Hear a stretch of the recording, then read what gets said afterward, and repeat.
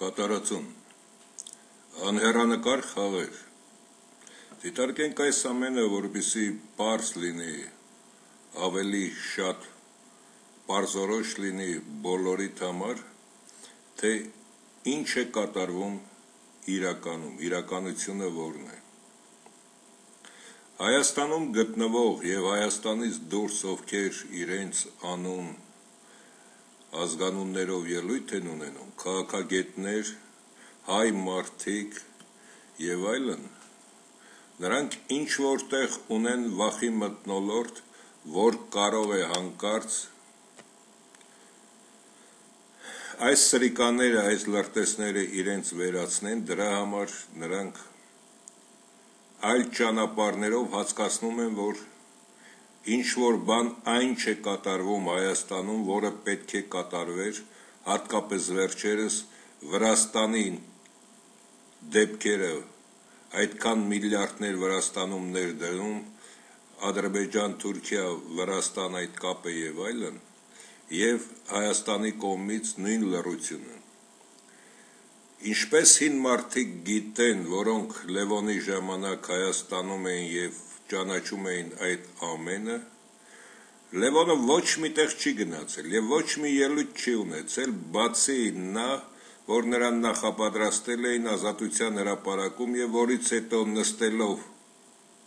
Հայաստանի առաջին դեմք նա միայն հրաման է տվել իսկական հայերին վերացնել։ Ոչ մի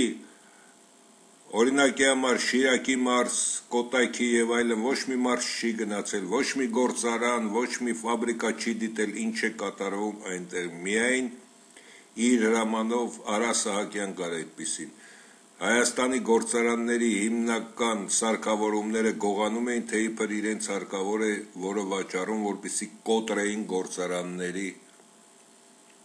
ողնաշարը։ Նույնը Երևի այս երեքի մեջ, եթե վերցնենք, միայն Ռոբերտ Քոչարյանն է ինչ որ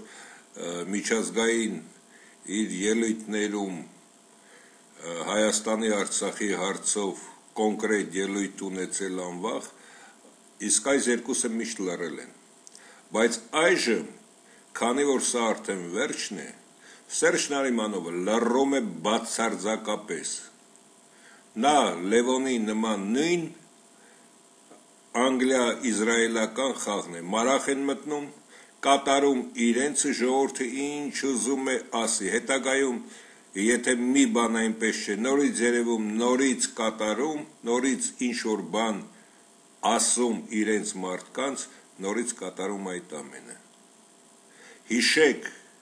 այս բոլոր երեք լրտես սրիկաներին, որոնք ազգության փայ չեն, չեմ ուզում նորից կրկնել, եւ կտեսնեք, որ նույն խաղի մեթոդները նույն ձևով կատարվում է այն ամենը, ինչ կատարվել է Լևոն Տեր-Պետրոսյանի ժամանակ։ Այսինքն Սերժ Նարիմանովը հայ ժողովրդին ասելու ոչինչ չունի, քանի որ նա հայ ժողովրդին միայն կողոպտում է։ Հայաստան Եթե մենք վերցնենք 15 թվականին, թե ինչպիսի Հայաստան հետագայում 20 թվականին մեզ պետք է հասներ եւ այսօրվա Հայաստանը պլյուս դրան նաեւ Արցախը եւ այդ 7 հայկական շրջանները ապա կտեսնենք որ այն ժամանակ նույնպես տեղի ունեցել դավադրություն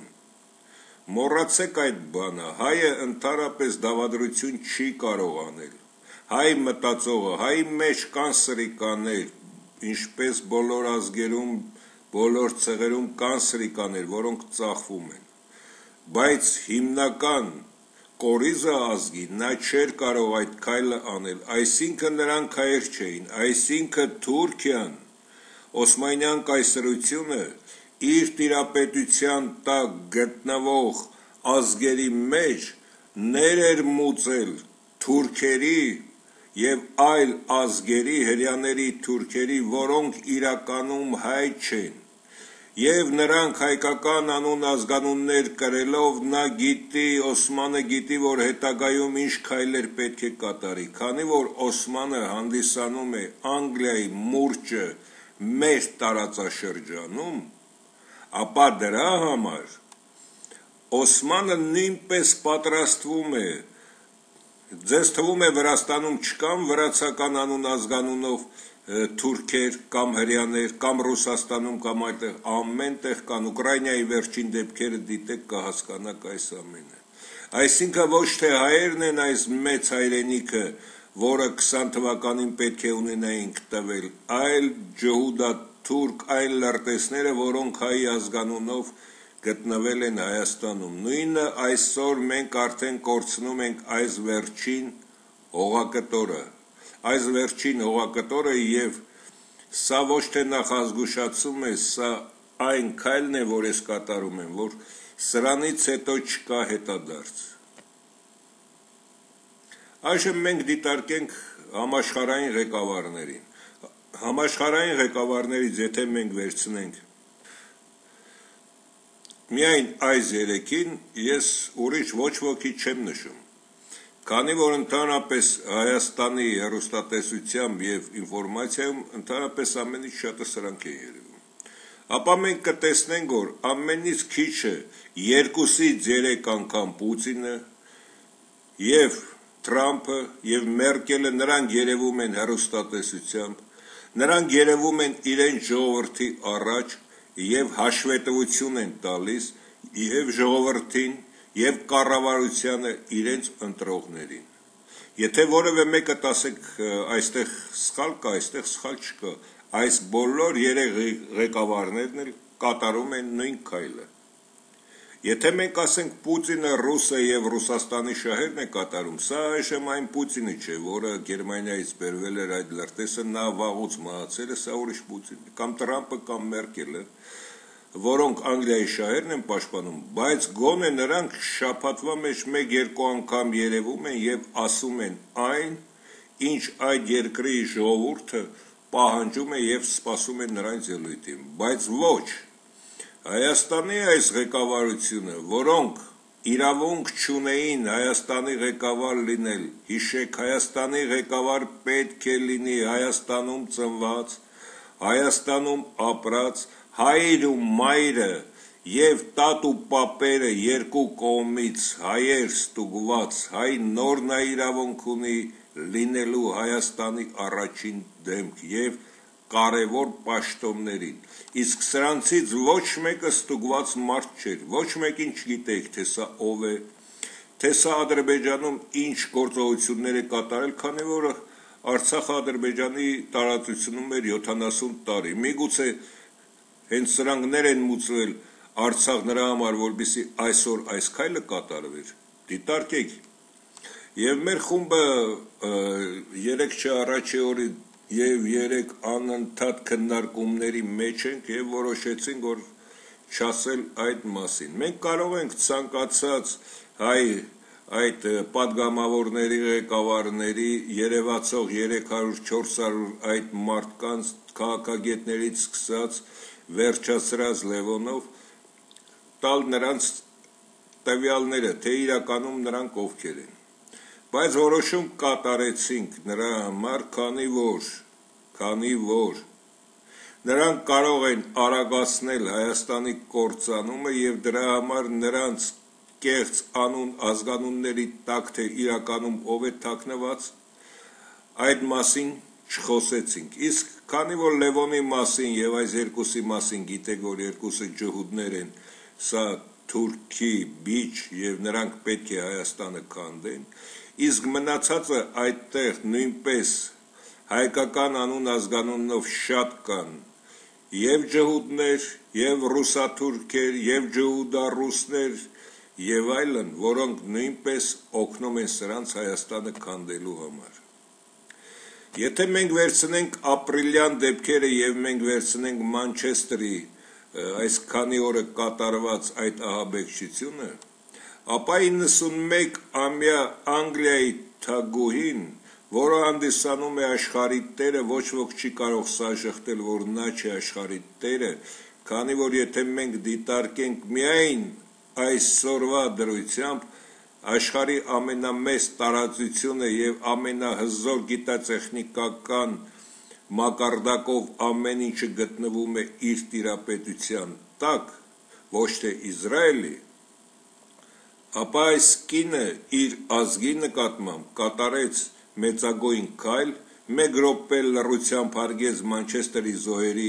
հիշատակը եւ եկավ իր ժողովրդի արչեւ հանդես գալու բայց Սերժ Նարիմանովը մենք ապրիլին տվեցինք 104 զո ոչ մի անգամ գոնե Հայաստանում 1 րոպե լռության րոպե չհայտարարվեց Հայաստանի դրոշները 2-3 օր պետք է կախվեին եւ Հայաստանում սքի օր հայտարարվեր չհայտարարվեց պատճառը պատճառը նա է քանի որ Լևոն Տեր-Պետրոսյանի իղձերը չկատարվեց թուրքերը ադրբեջանցիք չկարողացան առաջ գալ, քանի որ այդտեղ հզոր այդ երիտասարդները 104 հոգին, նրանք իրենց մարմնով պաշտպանեցին հայրենիքը։ Բացի դա, Հայաստանում կատարվում է նաև Ավրորայի մրցանակաբաշխություն։ Այժմ պարզաբանումներ մտցնենք, ինչու չի այս անգամ որևէ հայ ստանում այդ մրցանակաբաշխությունը։ Վերցնենք հացբերողին։ Հացբերողը Արտուրը ինքը իր կյանքի գնով գիտեր, որ ոստիկանները կարող էին գնդակահարել իրեն եւ նաեւ իր ավտոմեքենան դարձվել էր այդ կրակոցներից կարելի ասել ցանց, բայց նա հայերին հաց հասցրեց, որոնք ըմբոստացել էին այս կառավարության դեմ նշանակություն չունի ում դեմ էին ըմբոստացել։ Սա հայի տեսակ է, որին մենք պարտավոր ենք ամբողջ կյանքում հիշել, բացի հիշելը նրան հարգել որպես սրբություն։ Բացի դա, մենք ասում ենք ապրիլյան պատերազմի 104 զոհերը։ Ապրիլյան Դա պատերազմ չէր, դա Սերժիկ Նարիմանովը վաճառում էր այդ հողերը, բայց այս հզոր տղաները կանգնեցին եւ պաշտպանեցին այդ հողերը։ Այժմ խնդրում եմ ուշադրություն դարձրեք այս արտահայտության վրա, որը պետք է կատարեմ։ Ըստ Պուտին Ալիև Սարգսյան համաձայնության ադրբեջանցիք պետք է առաջ գային այդ 800 հեկտարը։ Բայց իմանալով թուրք եւ ադրբեջանցի ցեղերին, նրանք կարող էին դրթել իրենց պայմանավորվածությունը եւ հարցակվելով վերցնեին ամբողջ Արցախը, Զանգեզուրը եւ այլն։ Այսինքն Այս 104 երիտասարդները փրկել են մի ամբողջ հայ ժողովուրդ, մի ամբողջ Հայաստան փրկել են ոչնչացումից, քանի որ թուրքը անկախատեսելի է։ Բայց ինչի համար այս 104-ը միասին չպետք է հանդիսանան Ավրորայի հիմնական եւ հաղթող հերոսները, որոնք 2.5 միլիոն եւ 40 հազար քառակուսի կիլոմետր տարածությամբ ամբողջ մի ազգի եւ պետության փրկել են ոչնչացումից։ Ավրորայի, եթե ոչ Արտուրը, ապա միակ արժանին այս 104 երիտասարդներն են, որոնք միասին պետք է ստանային Ավրորայի եւ պետք է ստանան Ավրորայի գլխավոր մրցանակը, բայց Սերժ Նարիմանովի համար եւ Արտուրն է հանդիսանում ճշնամի եւ այս տղաներն են հանդիսանում ճշնամի, քանի որ նրանք խափանեցին իրեն պլանը։ Այժմ դիտարկենք նաև այս փաստը ձեզ թվում է, որ եթե սրանք գնում են այս թասակը դնելով իրենց գլխին, նրանք հрьяաներին տալիս են իրենց համաձայնությունը, որ ծառայում են Իսրայելին։ Սերժիկ Նարիմանովը, Լևոն Տեր-Պետրոսյանը նույնպես շեղում են հայերին տարբեր ուղություններով։ Անգլիան դա շեղում է մեղքը գցելով հрьяաների վրա, ճիշտ է հрьяաները ամբողջ աշխարհում ամենաչսիրված ցեղախումբն են հանդիսանում, որոնք ծառայելով Անգլիային կործանում են բոլոր երկրները, բայց հիշեք այս թիվը. 179 անգամ իր տարածությունից մեծ տարածություն ունեցող Անգլիան երբեք ոչ մի հրյա եւ ոչ մի նմանատիպ ցեղի թույլ չէր տա, որպեսի նրանք լինեն աշխարհի տերը, իսկ իրենք ստրուկ։ 20000 տարուց ավելի Անգլիան է հանդիսանում երկիր մոլորակի տերը եւ այդպես էլ կա։ Սա միայն ձևականություն է հիմարներին մի քանի միլիարդ մարդու խապելու համար։ Այժմ դիտարկենք նաև Սերժ Նարիմանովի այս քանի օրը տեղադրված, թե որտեղից Նարիմանովին տարին 500 միլիոն ամերիկյան դոլար մենք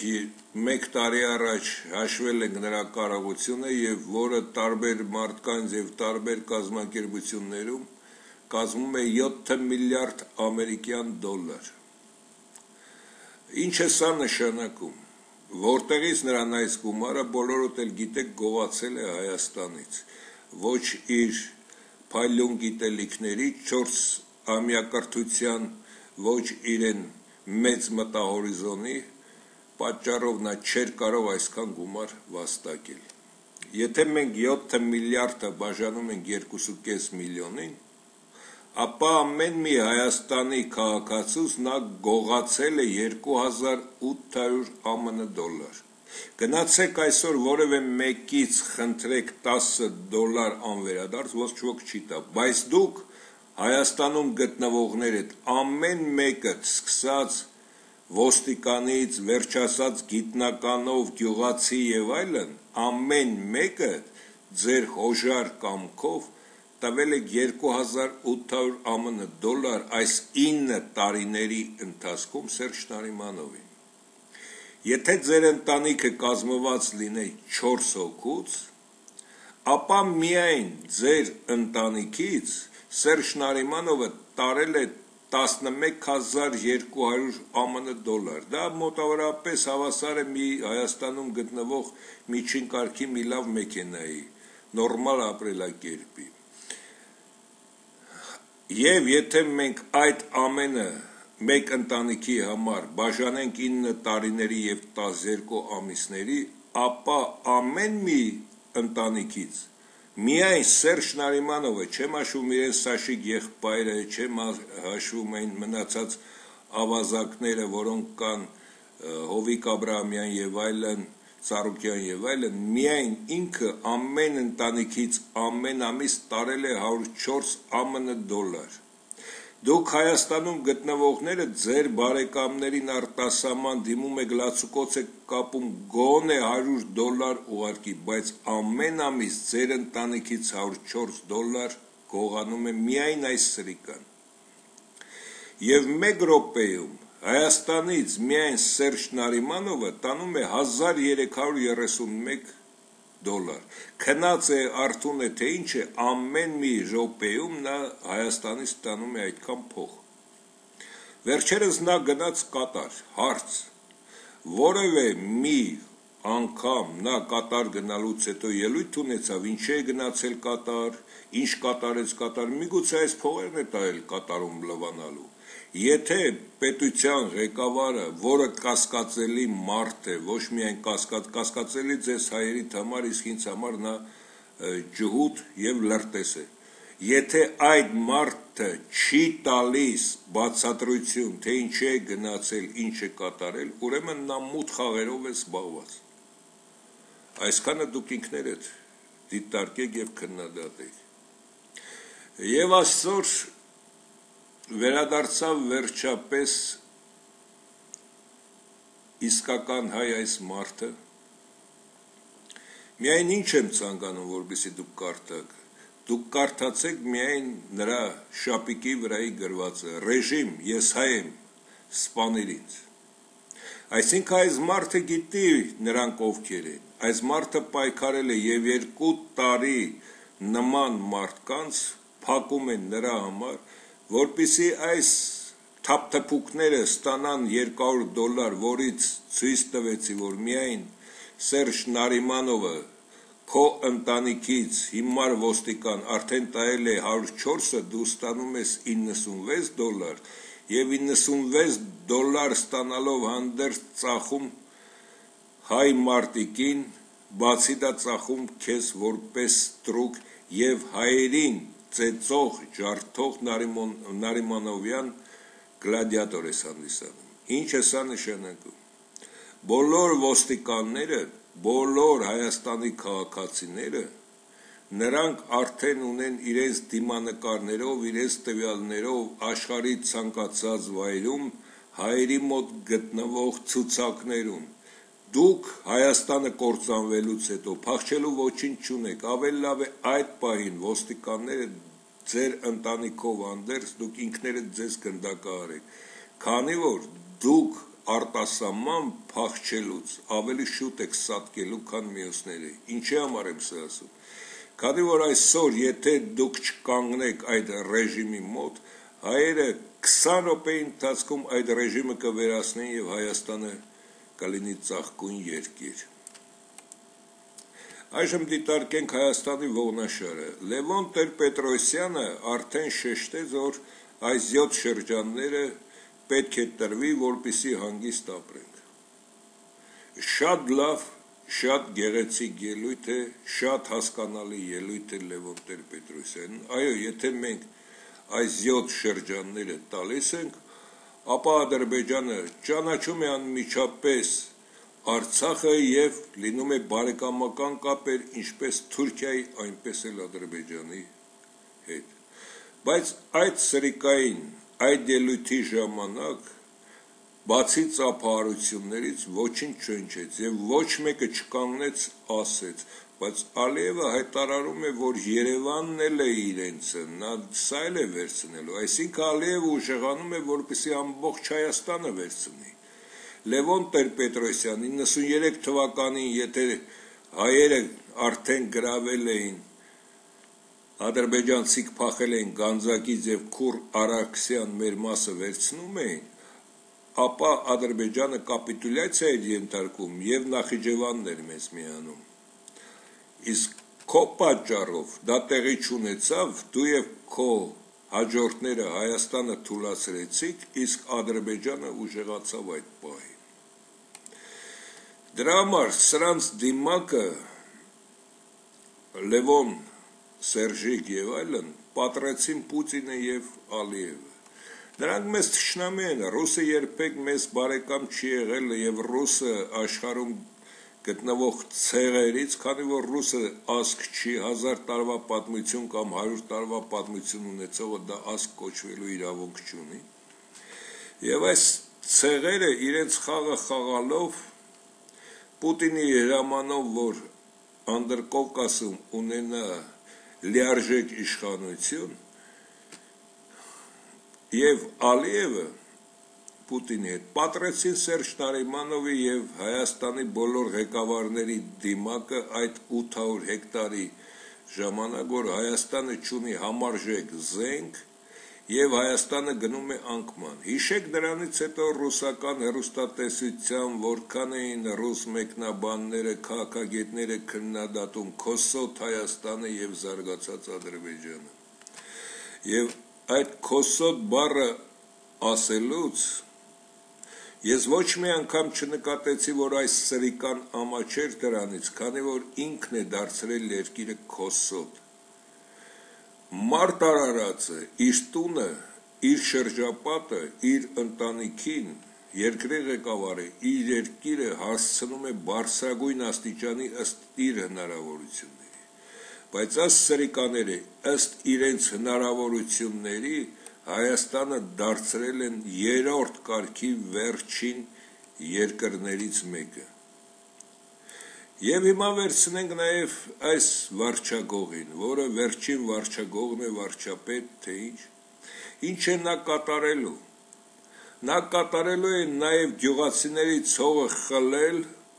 եւ գյուղացիներին թողնել անաշխատունակ, քանի որ Հայաստանում այսօր Երևանում միայն իրենց կիսագործարաններում եւ մարկետներում աշխատող եւ գիրոներում աշխատող հայերն են մնացել եւ միայն գյուղացիք, որոնք կարողանում են իրենց մթերքի հաշվին պահել իրենց եւ Հայաստանի բնակչությունը 2.5 միլիոն է, բացի դա քաղաքներում գտնվողները, որոնք արտասահմանից ստանում են գումար։ Արտասահմանից գումար ստանալը Հայաստանի համար այժմ դժվար է դարձել։ Ինչի համար։ Քանի որ Union-ը Հայաստանի հետ խզեց իր կապերը, քանի որ Հայաստանը չէր մուծում նրա պարտքերը։ Սա ինչ է նշանակում։ Դա հատուկ է արված, որպիսի արտասահմանի հայերը նույնպես իրենց բարեկամներին դժվարությամբ այլ ճանապարհներով փող ուղարկեն եւ այլ ճանապարհներով ուղարկված փողի մեծ մասը տոկոսային վերցնեն իրենք։ Այստեղ նույնպես բարձրագույն սրիկայություն կատարեցին եւ Այժմ այս սրիկան ինչ է կատարելու ջհուդական ցակումով վերացնելու է նաև գյուղացիներին, որպեսզի գյուղացիները նույնպես թողնեն Հայաստանը հեռանան եւ մնա մոտարապես 800 հազարի կարգի, ինչպես Լևոնն էր ասում, մեզ պետք է Հայաստանին 700 հազար մարդ, որպեսի մեզ համար աշխատի, նա ասում էր մեզ համար աշխատի, բայց եթե փակագծերը բացենք, Այսինքն դրանց արդեն հեշտ կլինի երկու կողմից ճզմել եւ Հայաստանը վերացնել աշխարհի երեսից։ Այս մարդը շատ շուտ խոսում էր ամբողջ համակարգի կեղծիքների մասին։ Ինքը Զանգեզուրից է Ամերիկայում էր բնակում։ Վերջերս նա մի քանի տարի առաջ մահացավ, ոչ թե մահացավ, նրան նախ վախեցրել են, հետագայում նա ելույթեր ունենում լույս աշխարհում ռեժիմի համար եւ իր հայրենասիրական մղումները թույլ չտվեց, որ ռեժիմին ծառայեր, երևի հենց այդ պատճառով էլ նրան վերասեցին, բայց նրա զրույցները եթե լսեք այնտեղ շատ կոնկրետ եւ գեղեցիկ զրույցներ կան այսինքն ռեժիմը վերացնում է բոլորին ովքեր իրենց ճանապարհին կանգնում են ռեժիմը ինչի համար է Միայն լրտեսը կարող է դա անել։ Նորմալ է, այո, եթե նույնիսկ սխալ է գործել երկրի ղեկավարը, նա այդքան ոստիկան չէր պահի, նա այդքան թիկնապաներ չէր պահի եւ նա այդքան լկտիության չէր գնա։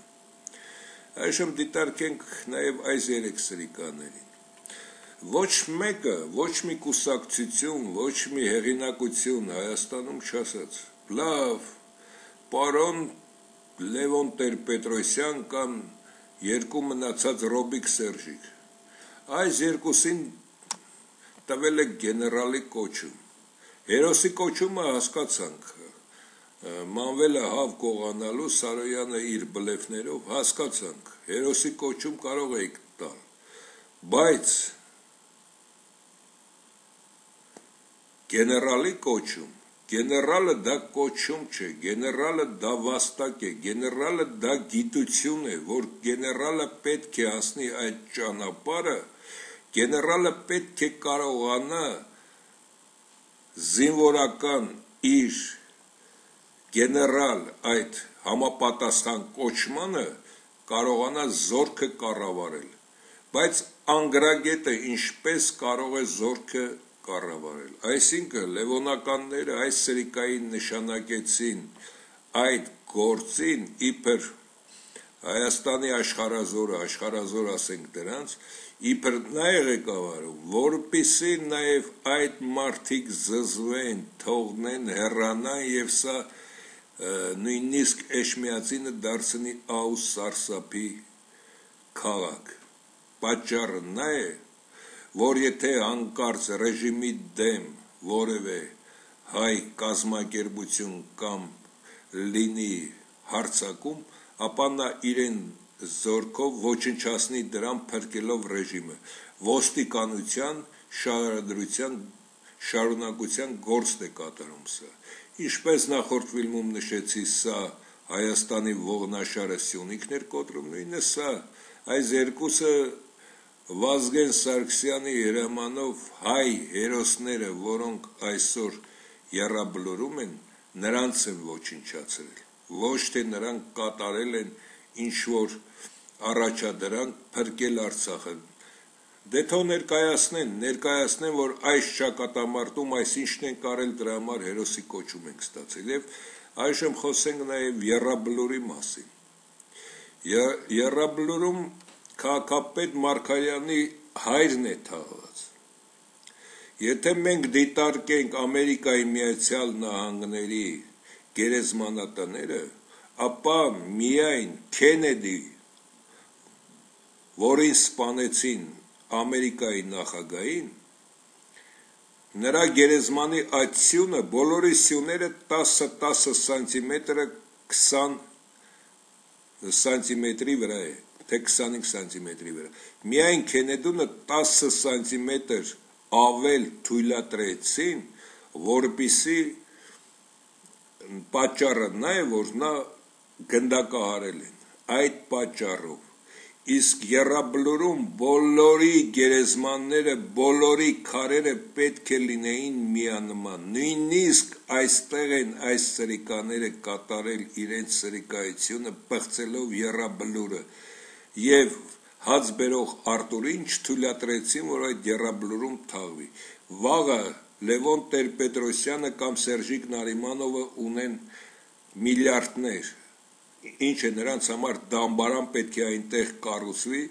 իսկ Պավլիկ Մանուկյանի կամ Ժիրայ Սեֆիլյանի համար պետք է մի փոքրիկ քարակտոր դրվի։ Դա նույնպես պղծել են, պղծել են ամեն ինչ, պղծված է հայոց եկեղեցին, հայոց եկեղեցի չկա։ Դա Սերժիկ Նարիմանովի կրոնական մի թևն է, քանի որ նա է ամբողջը կառավարում Լևոն Տեր-Պետրոսյանի ցուցումներով։ Եվ այժմ 7 շրջանների հարցը դիտարկենք։ Եթե մենք դիտարկում ենք Լևոն Տեր-Պետրոսյանին, որի ինքնությունը པարզ է բոլորիդ, Սերժիկ Նարիմանովի եւ այլն, ապա այստեղ པարզ չէ այս երկուսի դերակատարությունը։ Միայն կեսախելագար կամ ստրուկ հայը կասեր, որ համաձայնվենք, ինչպես 20 թվականին Արամ Մանուկյան կար, նույն այս Արամ Մանուկյանը ավելի զզվելի տականք է, քան Լևոն Տեր-Պետրոսյանը, քան եւ այս Զուրաբյանը նույնպես։ Ինչի համար եմ դա ասում։ Եթե նրանք ունեն հայկական արմատներ եւ հայկական ցակում եւ տրվում են այս սրիկային, որպիսի 7 շրջանը հանձնվի, Ալիևը པարս հայտարարել է ամբողջ Հայաստանն է են պետք, էլ ինչ ես որևէ շրջան հանձնում։ Եվ միջազգային կազմակերպություններում մեր մոտից մեր մարդկանցից կան բարձր կարգի երկու իրավաբաններ, որոնք կարող են Մինսկի խմբում եւ համաշխարային մարդկությանը ներկայացնել այնպիսի մի նյութ, որից հետո ոչ միայն այս 7 շրջանները աշխարհը կճանաչի, այլև քուր արաքսյան մեր մասը անմիջապես աշխարհը կճանաչի Նախիջևանի հետ հայկական։ Եթե Հայաստանի այսօրվա ղեկավարությունը համաձայնվի, այդ երկու մարդը մեկ շաբաթվա ընթացքում նյութերով կներկայանան աշխարհի եւ կջախջախեն այն ուժերը, ներքին հայկական եւ արտաքին հայկական, որոնք փորձում են Հայաստանը վերացնել աշխարհի երեսից։ Այսքանը միայն։ Բայց սա Սերժիկ Նարիմանովը արդեն խաղում է վերջնագիծը։ Սա վերջնագիծն է Հայաստանի, քանի որ նա նորից մտել է մարախ եւ կատարում է իր սադրիչ Հայաստանը քանդող գործողությունները այս երկուսի հետ։ Եթե սրանք իրոք հայլ լինեն, բոլորը միասին գողացել են մոտարապես 120 միլիարդ ԱՄՆ դոլար։ Այդ 120 միլիարդից, եթե բոլոր սրիկաներին միասին 100 միլիարդ 20 միլիարդը թողնվի, նրանք կարող են բոլոր երկրներում թակավորի նման ապրել իսկ մնացածը վերադարձնեն Հայաստանին եւ հեռանան մարդավարի, բայց սրանք այդ ամենը չեն կատարի։ Նորից եմ կրկնում, նաեւ ինչպես Ժիրայ Սեֆիլյանն է նշում, այդ հերոս եւ միամիտ հայը, ինչպես նաեւ Զարուհի Փոստանջյանը, լրտեսների դեմ ընդվզմամբ ոչինչ չես կարող անել։